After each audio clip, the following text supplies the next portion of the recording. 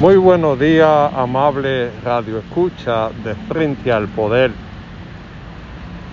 La gente está cansada del problema de la inseguridad ciudadana en la República Dominicana. Da pena y vergüenza ver cómo en los barrios la gente no puede salir a la calle por temor a ser asesinado o a ser atracado. Recientemente una niña en su casa, una niña menor de tres años, fue asesinada por dos bandidos que le cayeron a tiro. Esto se está saliendo de control en todo el país la gente está exigiendo que se garantice la libre circulación porque de nada hace el gobierno mejorar la situación de vida de la gente cuando en realidad no pueda salir a la calle.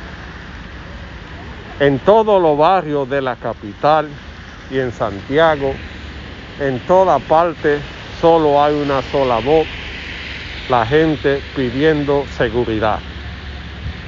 Las empresas están perdiendo porque su gente son atracados y ya no encuentran ni qué hacer para arreglar la situación. Ya le entran a la seguridad, le entran a todo el mundo y no hay una respuesta de parte del gobierno fuerte y contundente que le garantice a la gente vivir en paz. El país no puede seguir así. Necesitamos medidas fuertes que le permita a la gente la tranquilidad.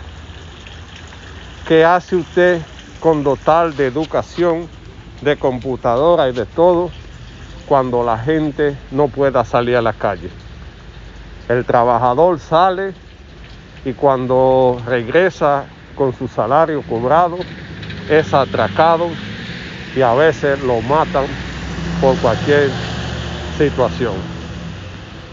Está la, inseguridad fuera de control y esto no podemos permitirlo. Hay que elaborar un programa, Préstame tus ojos, para que cada vecino pueda ayudar a la, seguridad ciudadana.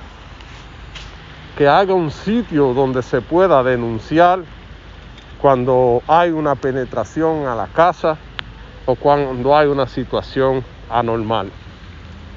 La gente necesita tranquilidad y eso el gobierno tiene que asegurar. El gobierno tiene muy buenas intenciones pero necesita poner mano dura a la situación que atraviesa la inseguridad en la República Dominicana. El país vive del turismo y necesita garantías de seguridad para que la gente pueda andar en la calle sin ningún problema porque tenga garantizada la seguridad ciudadana. Este es un fenómeno que afecta a todo el mundo, que no es solamente de República Dominicana, esto está en toda parte y se necesita respuesta que le permita a la gente transitar sin ningún problema. Estamos a tiempo de elaborar ese plan porque se acerca la Navidad y necesitamos garantía mínima que le permita a la gente vivir tranquilo en esta Navidad. Están aprovechando el toque de queda para salir a hacer su desastre y no hay un régimen de consecuencias.